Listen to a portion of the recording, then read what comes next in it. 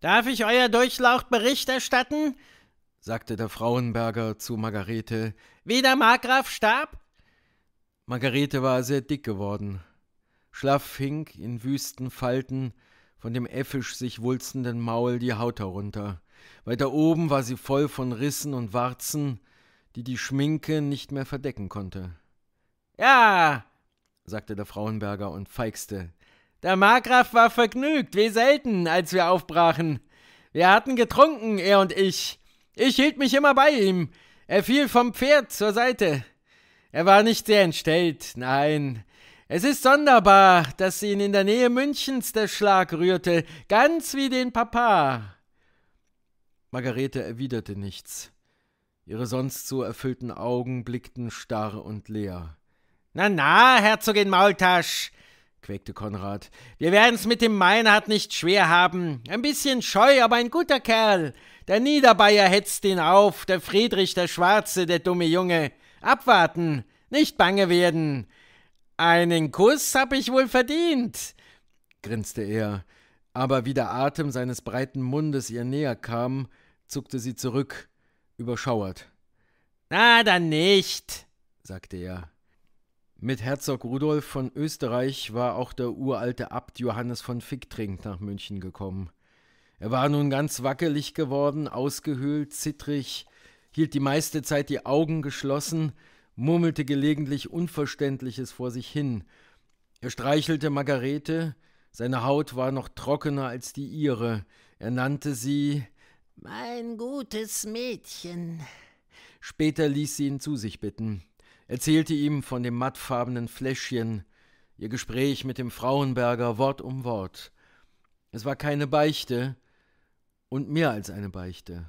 Er hockte da, verschrumpft, erloschen, sie wusste nicht, ob er verstand. Dies war auch gleichgültig, wichtig war nur, vor lebendigen Ohren zu reden.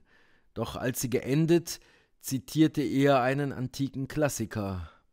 Viel Furchtbares ist in der Welt, doch nichts furchtbarer als das menschliche Herz. Agnes wich dem Frauenberger aus, war kalt zu ihm und spöttisch.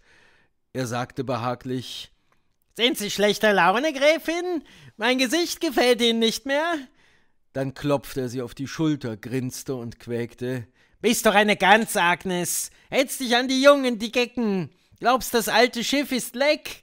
Bist eine gute, dumme Gans, Agnes. Er tätschelte sie und tastete sie ab. Da sie sich ihm entzog, lachte er gemütlich, streckte sich aufs Polster, drehte sich um und gähnte lärmvoll. Herzog Rudolf, der Habsburger, griff gierig nach den Dokumenten, die ihm sein Kanzler, der kluge Bischof von Gurk, bedeutsam feierlich überreichte. Er vertiefte sich in sie, las wiederholt, fieberisch glühte der sonst so ruhige, beherrschte Mann. Er streichelte die Papiere, hörte auf die Erklärungen, die ihm der Kanzler, der juristisch ungewöhnlich gebildete Bischof, vortrug, von wie ungeheuren staatsrechtlichen Folgen die Auffindung dieser Dokumente sei. Er las nochmals, küsste feierlich fromm die Pergamente, kniete nieder und betete, drückte dem Bischof, der gesammelt dastand und sich kein kleines Lächeln gestattete, voll heftigen erregten Dankes die Hände. Herzog Rudolf hatte von seinem Vater den harten Tatsachensinn geerbt, den klaren Blick für Realitäten und Möglichkeiten. Er wusste, dass Habsburg noch nicht stark genug war, die Verpflichtungen der Kaiserwürde zu tragen, ohne im Innersten Schaden zu nehmen. Die Wahrung des kaiserlichen Ansehens zwang zur Zersplitterung und sog am Mark. Wittelsbach und Luxemburg hatten es spüren müssen. Es gab nur eines, vorläufig auf diesen äußeren höchsten Glanz klug verzichten, sich aber im Innern so festigen, dass die Kaiserkrone schließlich wie von selbst Habsburg als dem Stärksten zufallen musste.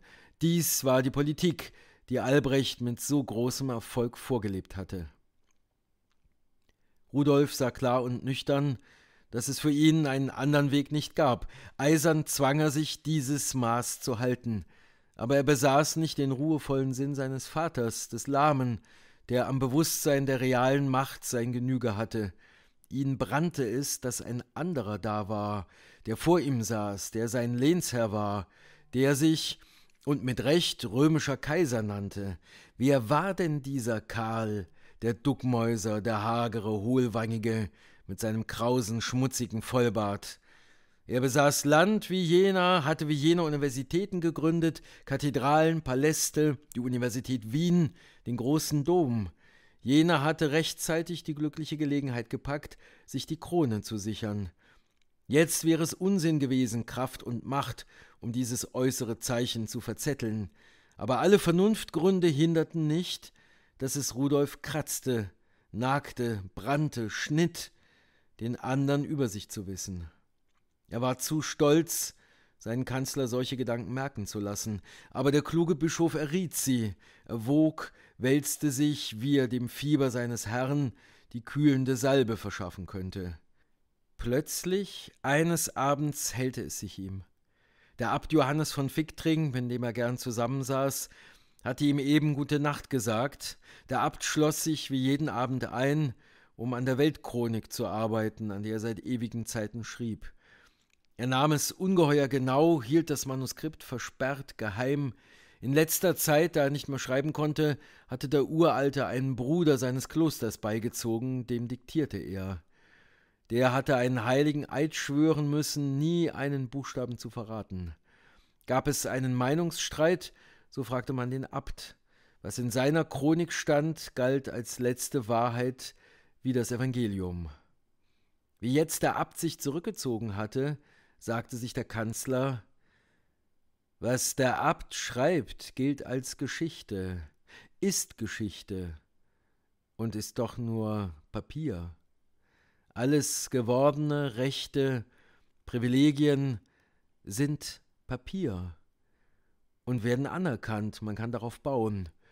Nimmt man es genau, so steht die Welt auf Papier. Der Böhme Karl hat kluge, gelehrte Theologen, die haben um seine Krone einen Wall von papiernen Privilegien gemacht. Sind wir in Wien weniger klug und gelehrt als die in Prag? Er setzte sich zusammen mit dem Abt. Er erinnerte ihn an den Tod Herzog Albrechts, wie da der Abt verkündet hatte, Defunctus est Albertus de Habsburg, Imperator Romanus. Dieses Wort, sagte der Kanzler, brenne in Herzog Rudolf weiter. Wie das ewige Licht in den Kapellen brenne es, Tag und Nacht brenne es. Der Uralte hörte zu mit erloschenen Augen. Auf einmal waren jene Dokumente da. Der gelehrte Abt hatte sie bei seinen Forschungen im Archiv der Hofburg aufgestöbert. Verstaubt waren sie, vergessen, im Winkel hatten sie gelegen, die köstlichen Pergamente. Unbegreiflich, waren sie doch, wie jetzt der Kanzler dem Herzog auseinandersetzte, weit mehr als bloß historische Spielereien. Von ungeheurem lebendigem Belang waren sie, geeignet, Habsburg auf einen neuen, hohen, mächtigen Sockel zu stellen, unmittelbar neben den römischen Kaiser. Fieberisch erregt prüfte Rudolf die Papiere. Es waren fünf Urkunden. Sie waren ausgestellt von römischen Kaisern, von dem ersten Friedrich, dem vierten Heinrich und gingen zurück bis auf Cäsar und Nero. Sie bestimmten, dass Haus Habsburg ausgezeichnet sein solle vor den anderen deutschen Fürstengeschlechtern, befreiten es von lästigen Pflichten, begabten es mit besonderen Rechten, machten den Habsburger zu des Reiches erstem, oberstem und treuestem Fürsten. Rudolf sah langsam besinnlich auf und sah den Kanzler an. Ernst, gelassen, treuherzig schaute der auf ihn zurück. Da hob Rudolf die Papiere vom Tisch, drückte sie an seine Brust, sagte fest, er sei gewillt, die Würden und Verantwortungen, die Gott durch diese Papiere ihm auferlege, auf sich zu nehmen. Mit gewaltigem Schwung verkündete er aller Christenheit die Auffindung dieser Hauptprivilegien, große Gesandtschaften an Papst, Kaiser, sämtliche Höfe, feierliche Messen in allen Kirchen der habsburgischen Lande. Rudolf, ungeheuer geschwellt, ließ das Zimmer, in dem er geboren war, er, der Chef der Habsburger, den Gott begnadet hatte, diese Urkunden wieder ans Licht zu ziehen, in eine Kapelle verwandeln. In den Kanzleien der deutschen Fürsten gab es verblüffte Gesichter. Die Juristen des Böhmen, des Brandenburgers, des Pfälzers schrieben sich, kamen persönlich zusammen, berieten mit halben, vorsichtigen Reden, schauten sich an, allen lag ein Wort auf der Zunge, keiner wagte es auszusprechen. Endlich kam von Italien her das Wort. Der Chronist Villani brachte es, der um sein Gutachten angegangene Petrarca hatte es geprägt, klar und unzweideutig. Die österreichischen Hausprivilegien sind Schwindel, lahme Fälschungen. Allein man traute sich nicht, das Gutachten des Welschen zu verwerten. Tief missvergnügt schaute Kaiser Karl dem Treiben des Habsburgers zu. Fast verleidete es ihm seine Reliquien, dass nun auch der Nebenbuhler solche Dokumente innehatte. Er bezweifelte sehr die Echtheit der Schriftstücke, vor allem die Urkunden Cäsars und Neros. Sie schienen ihm trotz ihrer einwandfreien Latinität bedenklich. Aber gleichwohl, sogar nach dem Urteil Petrarkas, schwankte er und wagte auch vor sich selber nicht, die Pergamente schlechthin für Fälschungen zu halten. Herzog Rudolf saß über seinen köstlichen Dokumenten, las sie wieder und wieder, vertiefte sich, prägte jeden Schnörkel, jede Faserung des Papiers in sein Herz. Der Kanzler, der Abt Johannes schauten zu. Einverständnisvoll, befriedigt sahen sie, wie tief und immer tiefer der Herzog die Privilegien in sein Credo einschloss. Margarete blieb, nach Tirol zurückgekehrt, in ihrer leeren, befremdenden Erstarrung. Sie kümmerte sich nicht um die Regierungsgeschäfte, die Dekrete mussten durch Kuriere dem jungen Herzog nach München geschickt werden zur Unterschrift. Sie blieben wochenlang, monatelang liegen. Die Räte regierten auf eigene Faust, zögernd mit halben Maßnahmen, denn man wusste nicht, wer wird nun endgültig die Herrschaft an sich reißen. Wittelsbach, Habsburg, die Maultasch, die Münchner Artusrunde die wichtigsten Dinge wurden unerledigt hin und her geschleppt. Margarete war ausgeschöpft bis ins Letzte. Sie hatte sich mit so unerhörter Anstrengung hochgehoben, war in den Dreck geschleudert worden, hatte sich wieder hochgerafft. Es hatte sich alles als Gerede erwiesen, es war alles dumm, verlogen, frech. Reinheit, Tugend, Kraft, Ordnung, Sinn und Zweck waren ebenso alberne Phrasen wie Herrentum und Ritterlichkeit.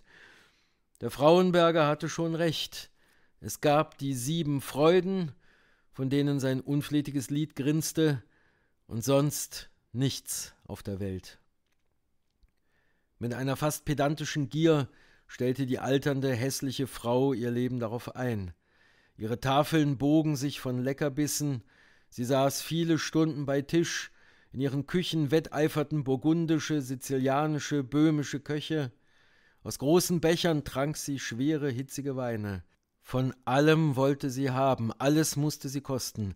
Seltene Fische, Vögel, Wildbret, Muscheln, in immer neuer Zubereitung, gesotten, gebraten, gebacken, in Mandelmilch, in Würzwein. Unersättlich verlangte sie, dass man immer anderes herbeischleppe, gierig, voll Angst, sie könne etwas übersehen und etwas versäumen. Sie ging früh zu Bett, stand spät auf, schlief auch lange Stunden des Tages, denn Schlafen war das Beste. Von dem Frauenberger hatte sie sich angewöhnt, sich zu strecken, lärmvoll zu gähnen, mit den Gelenken zu knacken. So lag die dicke, alternde Frau, grauenvoll hässlich und schnarchend. Ihr hartes, kupferfarbenes Haar zottelte in spröden Strähnen, über dem Gesicht trug sie eine Maske aus Teig mit Eselsmilch und einem Pulver, aus Zyklamenwurzeln geknetet, denn dies erhielt die Haut jünger. Der Frauenberger war zufrieden mit der Entwicklung der Herzogin. Ja, die Maultasch war ein vernünftiges Weib, hatte sich überzeugen lassen, hatte erkannt, dass seine Weltanschauung die rechte war. Er klopfte ihr anerkennend die Schulter, übernahm die Organisation ihrer Freuden. Seltsame Gerüchte raunten durch die Stadt Meran, durch das Passaya. Um nächtlichen Verkehr zu erleichtern, sei der Eisenkorb am Erkerfenster von Schloss Tirol so eingerichtet, dass er in den Hof niedergelassen, der Besucher in ihm emporgewunden werden könne. Im Feldturm des Schlosses hieß es, faulten die Günstlinge, die der Herzogin unbequem geworden seien. Man rümpfte die Nase über die Privilegien des Passaiertals, seine Schildhöfe, die Befreiung von Steuern, die Jagd- und Holzrechte. Die Herzogin ging tiefer nach Süden. Ihr kleines Lusthaus strahlte ganz weiß, unten schwärzlich blau, dunstete in mittäglicher Sonne der weite See. Verfallene Steinstufen führten hinunter zwischen Granatäpfelbäumen. Festlich auf großer, bunter geschmückter Barke glitt die hässliche über das schwarzblaue Wasser. Vor dem Kiel sprangen flirrende Fische, gleichmäßig schäumten die Ruder. Aus dem Bauch des Schiffes, während sie auf dem Verdeck lagerte, klang Musik. An ihrem Wege stand der kleine Aldrigetto von Caldonazzo. Der heftige, gewalttätige Junge, gelblich-weißes, leidenschaftliches Gesicht, kurze Nase unter raschen, großen, dunklen Augen, siebzehnjährig, hatte sie in Verona gesehen, dann in Vicenza, wo ihr Can Grande, der Jüngere, der mächtigste Herr der Lombardei, feierlichen Empfang gerüstet. Der kleine Baron Aldrigetto war in den zerfleischenden, blutrünstigen Kämpfen der Castelbarca als einziger Träger seines stolzen, reichen Namens übrig geblieben. Er selber hatte wütig in mehreren Scharmützeln mitgefochten, jetzt waren die meisten seiner Festungen und Güter in den Händen der Gegner. Er hatte sich an den Hof des großen Veronesers geflüchtet, fast drohend Hilfe und neuen Kampf verlangt. Er war der letzte Nachfahr seines uralten Hauses, war maßlos verwöhnt, jeder Wallung bis an die äußerste Grenze nachgebend. Die Frauen liebten sein hartes, gelblich-weißes Knabengesicht. Er sah Margarete. Er sah sie an der Seite des großen della Scala die Stufen seines Palastes hinanschreiten, zwischen ehrfürchtigen Gerüsteten und sich senkenden Fahnen, unter Glockengeläut, starr geschminkt, in mächtigem, stein- und goldübersätem Prunkkleid, abenteuerlich hässlich. Er spürte auf sich ihren langen, sonderbar leblosen Blick. Er hatte natürlich wie alle Welt die dumpfen, wilden Legenden gehört, die um sie gingen, wie sie, die Unersättliche, ihren ersten Mann vertrieben, ihren zweiten vergiftet, zahllose Liebhaber habe verschwinden lassen in grenzenloser Gier. Die deutsche Messalina hieß sie in Italien. Es schmeichelte ihm, dass sie ihn ansah. Ihn reizte ihre Macht, durch die er vielleicht seine Gegner erdrücken konnte. Ihn reizte das gefährliche Gerücht, das um sie ging. Er war jung, ein später Abkömmling eines uralten Geschlechts. Ihn reizte ihre Hässlichkeit.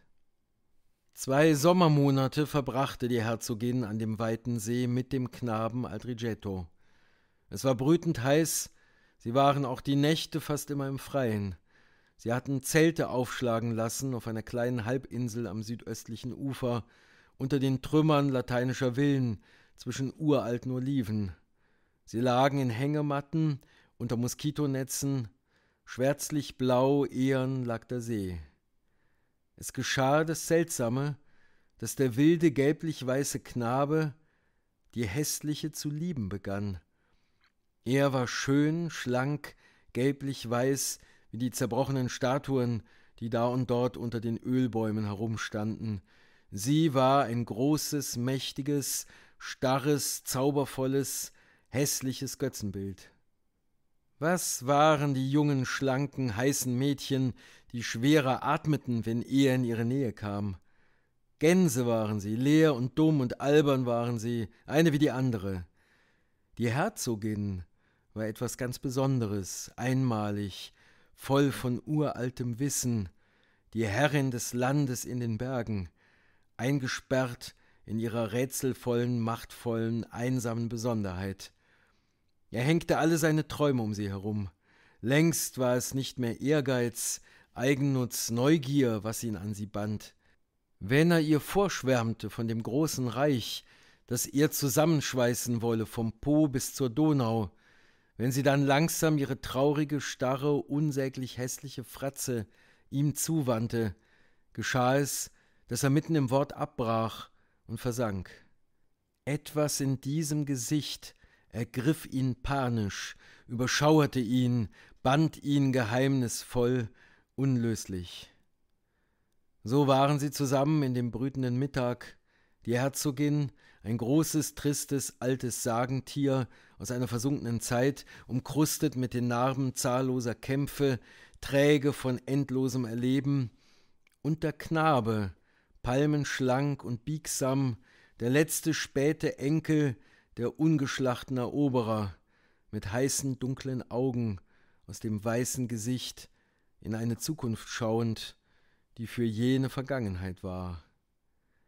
Sie zerlegte einen Granatapfel, der blutige Saft troff über ihre geschminkten Finger, ihr weiter wüster Mund nahm die glasklaren Kerne auf, sie zerspritzten unter ihren schrägen, großen, malmenden Zähnen. Wie seltsam, dachte sie.